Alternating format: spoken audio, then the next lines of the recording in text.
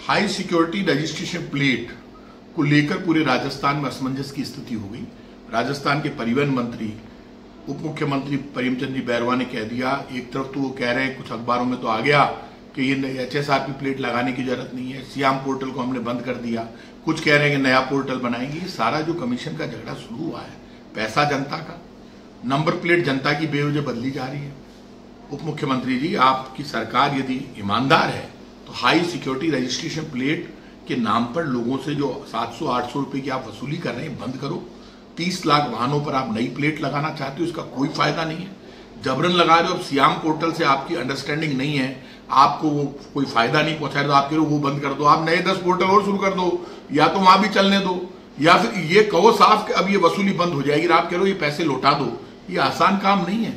ये सारा झगड़ा भ्रष्टाचार का है। कमीशन का झगड़ा चल रहा है इस सरकार में। पूरा ज़ोर आपने लगा दिया। और अब वाहन डीलर खड़े हो गए, वो कह रहे हैं कि हम ये सियाम पोर्टल के अलावा लगने नहीं देंगे। तो इस झगड़े में जनता पिस रही है। गाड़ी जनता की, नंबर प्लेट जनता की, पैसा जनता का झगड़ा चल रहा है।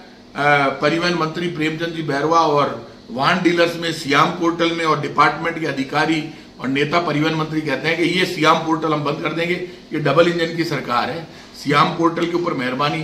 केंद्र के इंजन की है यहाँ पर मेहरबानी, आप नया इंजन लाना चाहते हैं तो ये भ्रष्टाचार का खेल बंद करो।